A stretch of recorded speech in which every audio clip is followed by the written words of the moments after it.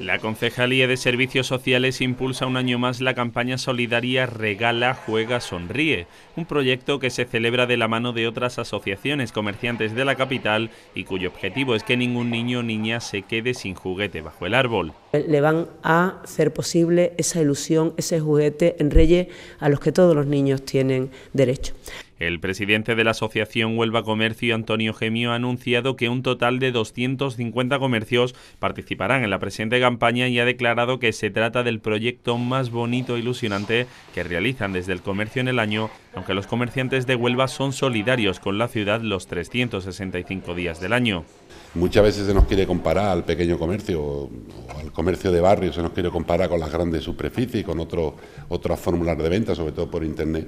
y yo lo que digo, y, te lo recalco ahora, Pilar, que todas estas plataformas de Internet hoy no están aquí y hoy no colaboran. Y por muchos que tú lo llames no van a colaborar nunca. Nosotros sí vamos a colaborar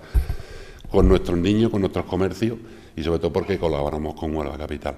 El área de servicios sociales elige a las familias que tengan el perfil necesario y recibirán un vale por valor de 25 euros por niño que podrán canjear en el comercio que elijan de los 250 disponibles. De esta forma se vuelve a celebrar un proyecto más que consolidado y que desde Huelva Comercio asegura que seguirán apostando para que las familias en riesgo o situación de vulnerabilidad puedan dar a sus hijos más que un regalo esta Navidad.